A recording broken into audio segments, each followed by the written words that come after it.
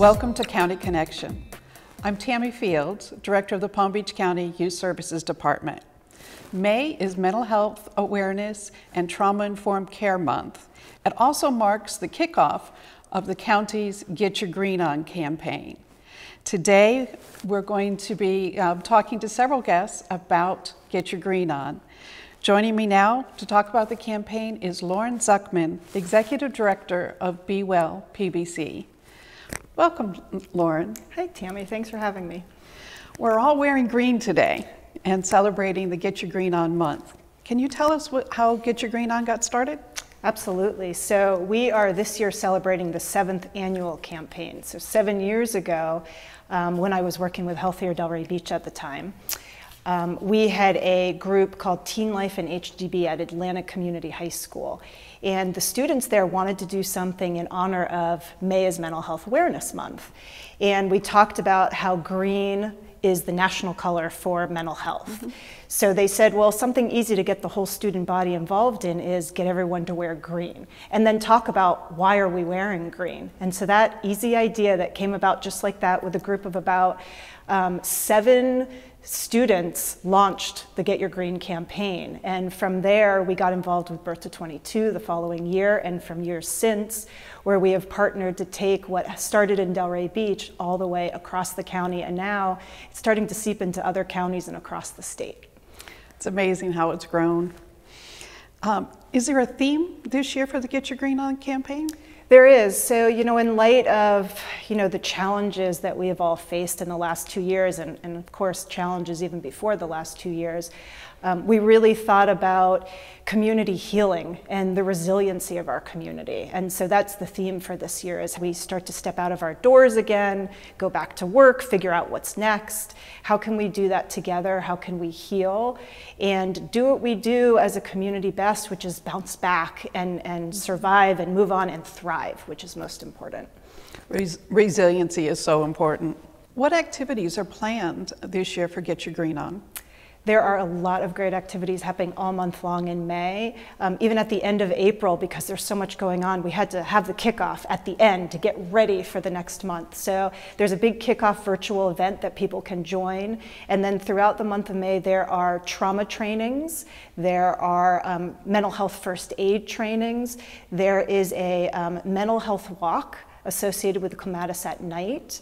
The Young Singers of the Palm Beaches are going to do a concert in honor of their mental health awareness.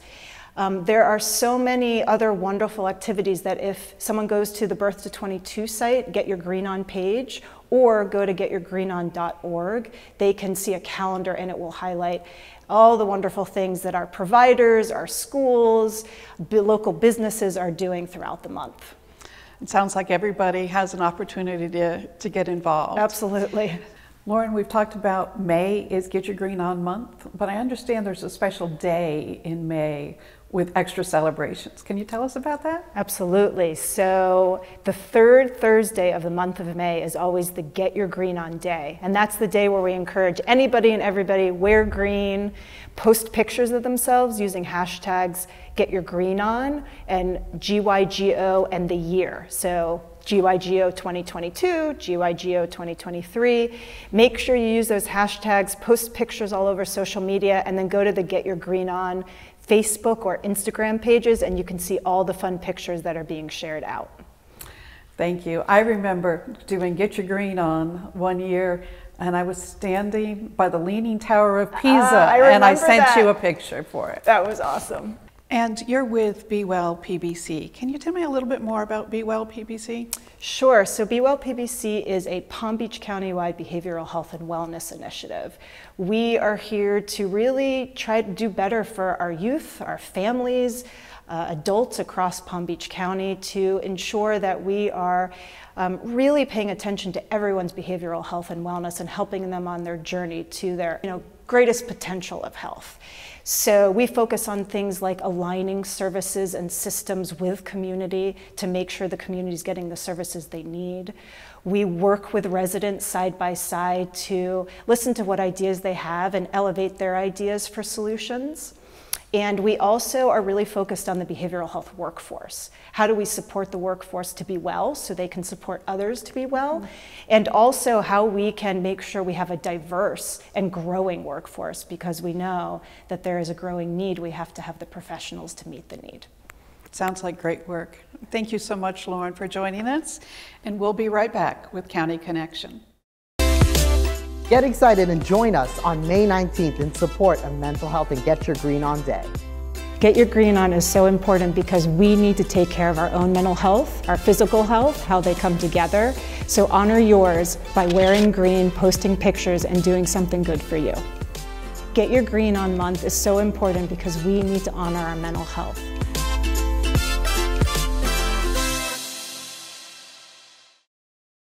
Welcome back to County Connection. I'm Tammy Fields, Director of the Palm Beach County Youth Services Department. Our next guest today is Renee Layman, CEO of the Center for Child Counseling. Welcome, Renee. Thanks so much for having me, Tammy. Can you start off by telling us a little bit about the Center for Child Counseling?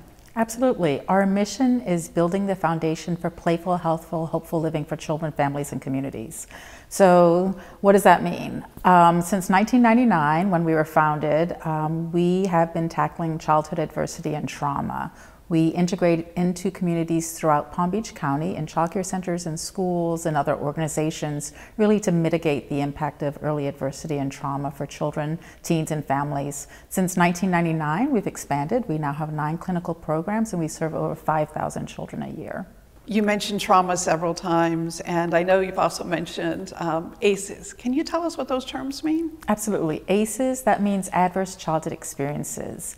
Um, so a study showed, and many studies after the original study in the 1990s shows that what happens to you before the age of 18 actually impacts you throughout your lifespan adverse experiences and positive experiences. So ACEs, adverse childhood experiences, are potentially traumatic experiences.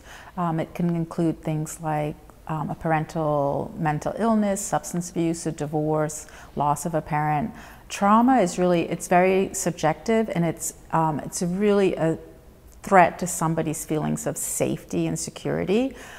ACEs can be traumatic, but ACEs are not always trauma. And so I think that's a really important distinction for people to know because we talk a lot about ACEs and trauma, but trauma really is that um, threat to safety and it could be repeated ACEs in the absence of buffering relationships. That could be trauma. So it's more than just kids get over it. Um, no, right. right. Kids don't just get over it, they need those healthy, positive relationships in their life to really um, work through what may have happened to them and to buffer. Even at the cellular level, um, those healthy relationships can change the physical health um, related to the trauma. What kind of physical effects can um, children who've experienced ACEs have in adulthood? Well, the ACEs study and lots of research since then has shown that ACEs actually they get under your skin. It can change the way your DNA is read and transcribed. It can go through generations, and it's actually related to 10 of the leading causes of illness in the United States of America. So everything from heart disease to diabetes has its roots in adverse childhood experiences. So, if an, a, a, child experiences a lot of trauma, is there hope for them? Is there a way that they can recover? Absolutely, there's always hope. So, we talk a lot about positive childhood experiences or PCEs being the antidote to ACEs and trauma. Children aren't just naturally resilient. When we say, oh, children are resilient, they'll get over it, they won't remember, that's not true. And even um, the earlier or the younger the child is when the trauma happens, the more impact throughout their lifespan. So, it's really essential to get in there early um, to have those positive buffering relationships. We're fortunate to have organizations like yours that, that get in early and intervene. Absolutely, pre-birth. pre-birth.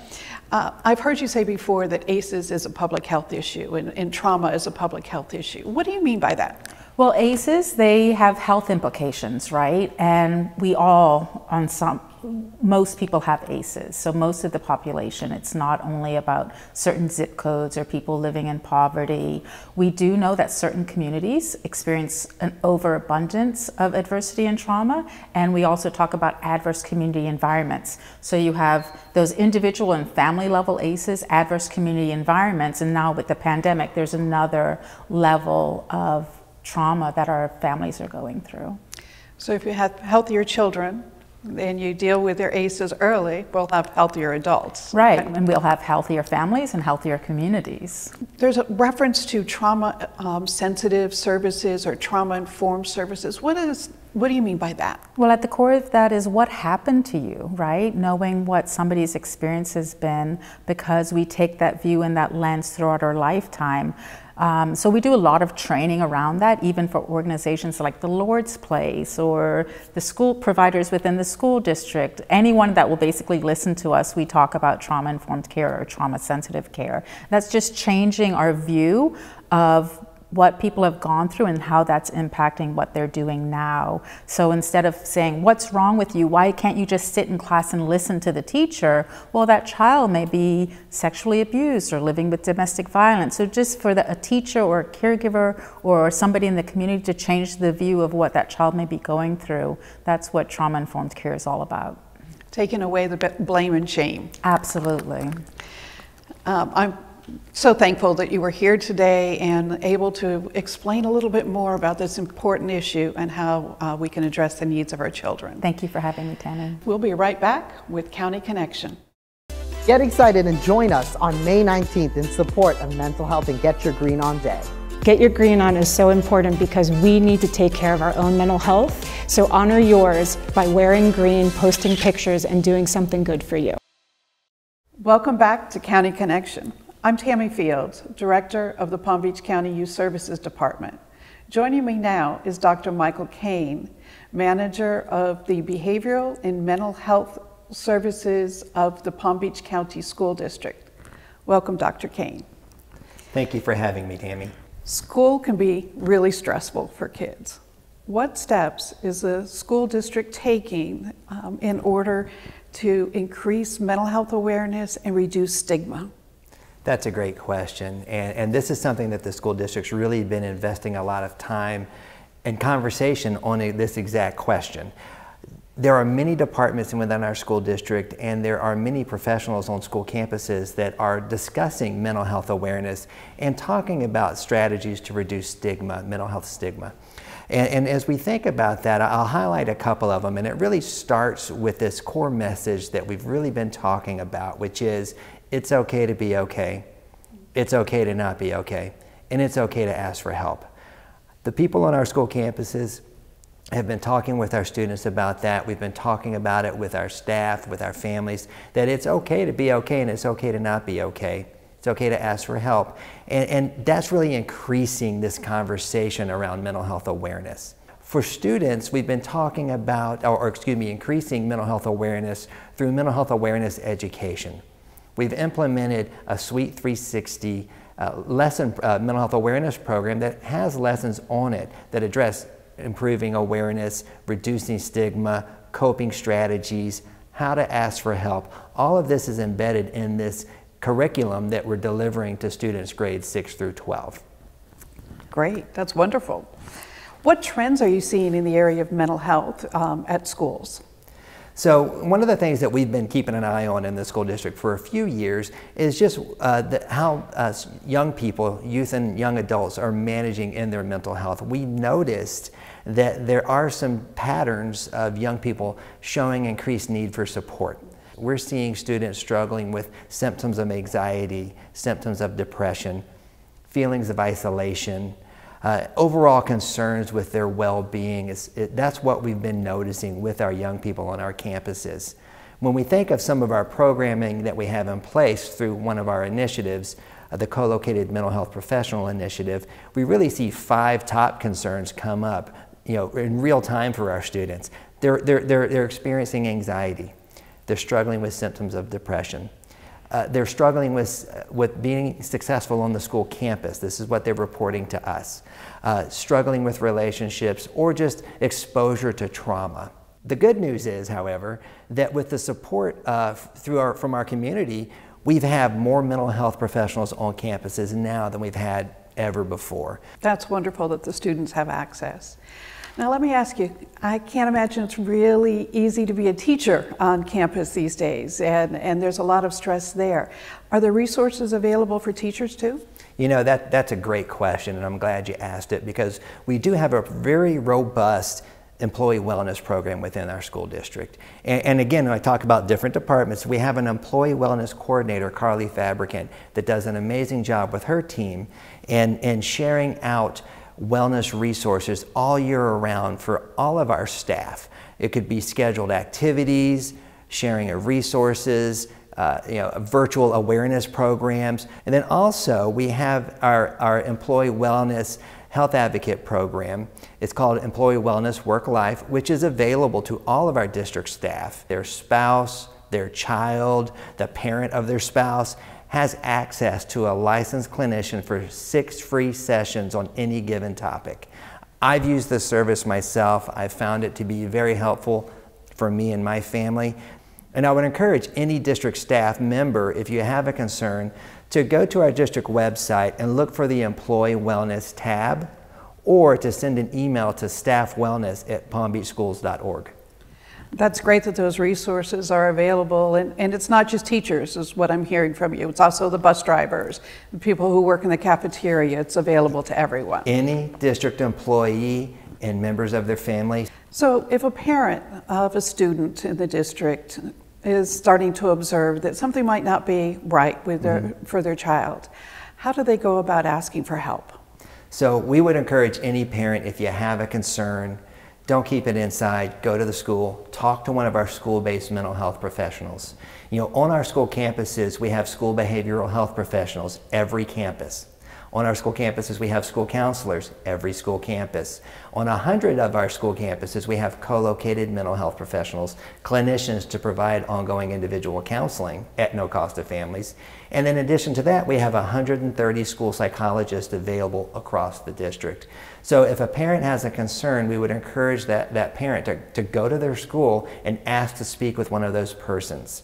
We have a, a really solid network uh, uh, of services available to students that have really been expanded student access. The district is really committed to doing that. So I would encourage folks, go to your school, start there. Thank you, that's great.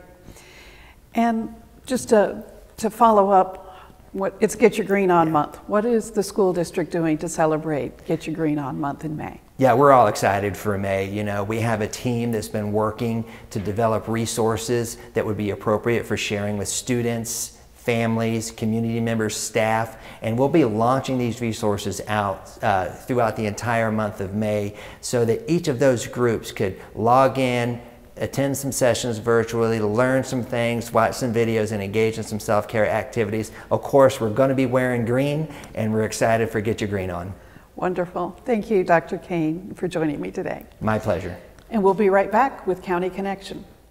Join us on May 19th for the Get Your Green On Day, the day where everybody wears green for their own mental health and posts pictures of themselves using hashtags GYGO 2022 or hashtag Get Your Green On. We need to take care of our own mental health, so honor yours by wearing green, posting pictures, and doing something good for you. Welcome back to County Connection. I'm Tammy Fields, Director of the Palm Beach County Youth Services Department. Joining me now is Kenya Madison, Senior Director of Healthier Delray Beach. Welcome, Kenya. Thank you for having me. So, what is Healthier Delray Beach and what is its focus? Healthier Delray Beach is a resident led, resident driven community initiative um, focused on the behavioral health of the most vulnerable population of Delray Beach community. I love that it's resident led and resident focused. I think that's very important. So, how do your community members um, get involved in Healthier Delray Beach?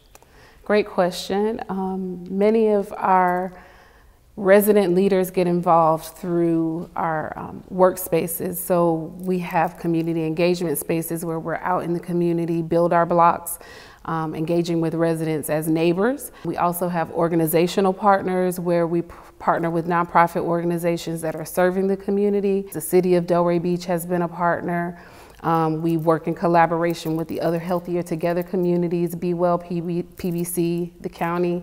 Um, we have lots of partners. So if you think of us, we're more of a network um, and we're serving resident, we're residents serving residents. That's great. Yes. Now, all of the Healthier Together communities have a, an area of focus that has been chosen by the community. What is Healthier Delray Beach's area of focus? Our area of focus um, is behavioral health with a very heavy emphasis on mental health and emotional well being.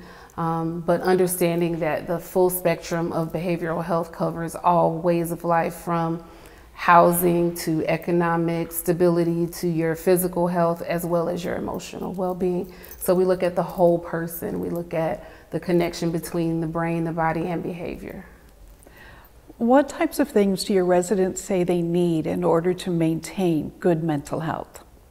Right now, residents are saying that they need access to quality providers. They want to make sure that their providers are understanding their lived experiences that shape who they are and shape their life so that when they're approaching services, whether they be community based services or clinical services, they want to make sure that they're going to meet someone who understands them as a person. How is Healthier Delray Beach going to be celebrating Get Your Green On this year? Um, being the birthplace of the Get Your Green On campaign, we are celebrating this year in the same fashion that we've done since the beginning, which is starting with youth, getting youth voices. Um, Delray Beach is planning an activity in June that we're going to have youth participate in as panelists, as facilitators. And so this May, we're focusing on getting youth together to lend their voices to um, just taking a break to assess how everyone is doing, you know, asking that question. Wonderful, wonderful. So Palm Beach County won the Culture of Health Prize from the Robert Wood Johnson Foundation. And I, I really wanted to ask you th- this question because I know you were an integral part. Can you tell us more about the prize and um, the role that Healthier Delray Beach played? The thing that I love most about winning that prize is it validates the work that we do together. Not just in Delray Beach, but across the county, how we are united um, to bring better solutions, bigger solutions, more impactful solutions to our residents. And so it meant everything to me because it meant that someone heard the residents' voices that we've been bringing to the table and that we've carved out a space to continue to be heard over the years. Sounds like relationship building and collaboration is the key. Kenya, thank you so much for being here and, and um, being the community voice for Get Your Green On. We'll be right back with County Connection. Get excited and join us on May 19th in support of Mental Health and Get Your Green On Day. Get Your Green On is so important because we need to take care of our own mental health. So honor yours by wearing green, posting pictures, and doing something good for you. Welcome back to County Connection. I'm Tammy Fields, Director of the Palm Beach County Youth Services Department. And joining me now is one of my colleagues, Twyla Taylor from the Residential Treatment and Family Counseling Division of the Youth Services Department. Welcome, Dr. Taylor. Thank you, Tammy. So, Youth Services offers a wide variety of mental health services, both um, inpatient and um, outpatient. Can you explain the difference between inpatient and outpatient services? Sure. So, with outpatient services, it's more of the child and the family coming to an office location for one hour a week. We offer those services for three up to three to four months. And for residential, it, we have our High Ridge Family Center located in West Palm Beach, and a child would stay in the facility Monday through Friday and go home on the weekends. And th- their length of stay could also be up to three to four months. And all of these services are free, correct? Yes, free. That, that's a great service. And you also offer services in the schools, correct? Yes, yes, we do. Uh, we offer some school based services based on therapist availability through our youth and family counseling program, and um, also offer so- additional outpatient services through our education and training center. Wonderful. So, how would um, someone qualify for any of the services that are offered? So the nice thing is that these services are open for any Palm Beach County resident. The way we determine whether someone is eligible for outpatient services or residential is through an intake interview. So they simply need to call 625 2540, and the receptionist can handle scheduling for any service that they, they want. And for more information, you can visit our website at pbcgov.com forward slash youth services forward slash counseling, or scan the QR code on the screen. So, we're here um, filming today at the High Ridge Family Center, uh, which is the residential program you mentioned. And it is certified in the sanctuary model of trauma informed care. Can you tell us what that means? So, there are two fundamental beliefs in trauma informed care. The first is that we all experience adversity. Adversity is universal. And the second is that we can heal from that adversity and potential trauma through um, coping skills and the development of uh, resiliency. And resiliency, as we've mentioned, is that ability to bounce back and recover. And we build resiliency through fostering healthy, supportive relationships with adults in our lives. So the children um, interact with the staff here as well as uh, with, with, their families become part of the program as well, correct? Yes, yes. The kids stay in the program from Monday through Friday and they go home on the weekends and practice with their families so they're not totally removed from their families. The other really nice component that we have is we have a collaboration with the Palm Beach County School District. So when the youth are in the program, they're able to go to school on campus and their grades are are transferred in and they're transferred out when they leave. And then after the school day, they are involved and immersed in a variety of trauma informed programming that includes individual and family therapy, and a multitude of groups throughout the weeks. And those groups focus on um, increasing their communication skills, their coping skills, uh, the conflict resolution skills. We have a cooking class with our cafeteria here, and uh, through collaboration with the Norton Museum of Art, we also are able to offer an art class. That sounds wonderful and a lot of resources for, for young people. How is the Youth Services Department celebrating Get Your Green On Month? we are doing a lot. So our High Ridge youth made this amazing Get Your Green On banner, um, complete with handprints and inspirational messages, and can't forget the sparkles. Uh, and of course, uh, we are all on Get Your Green On Day, we're all going to be wearing green throughout the department, taking lots of pictures and posting them. In addition, our education and training psychology staff are presenting four lunch and learns for Palm Beach County employees on a variety of mental health topics, including depression and anxiety. And we also will be offering four continuing education seminars throughout the month of May for mental health professionals on a variety of issues such as uh, assessment, treatment, and advocacy. The youth in the program will be um, learning all about mental health and wellness uh, throughout the month, and we even offer parent education for our families that are involved in the program. I, I love the approach from the children and, and the family and the resources for employees. Thank you, Dr. Taylor, for joining me today. And thank you to all of our guests. To learn more about the Get Your Green On campaign, go to PBC Birth to 22, that's the number 22.com slash GYGO. I'm Tammy Fields and we'll see you next time on County Connection.